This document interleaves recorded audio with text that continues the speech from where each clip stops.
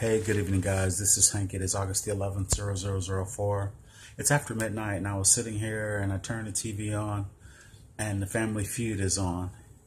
And I'm just thinking, man, television is still the same. And then this piece popped into my head, and I wrote it down. I'd like to share it.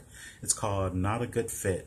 It goes, Has anyone noticed if you still watch, television is stuck in a virtual notch?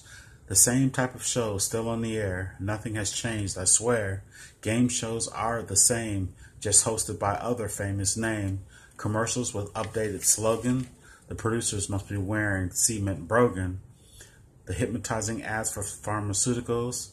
They're still pushing Flintstones chewables.